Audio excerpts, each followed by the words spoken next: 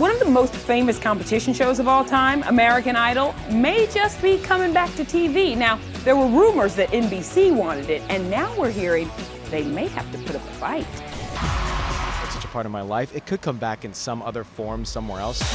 NBC and Fox now locked in a bidding war to bring Idol back. While Fox wouldn't comment on the new report, a source tells ET if the show comes back, it wouldn't be until 2018. So, why would NBC, who already has ratings powerhouse The Voice, even want to revive rival show Idol? It's a less is more approach. Right now, The Voice churns out two seasons a year, and this would actually help the network cut costs.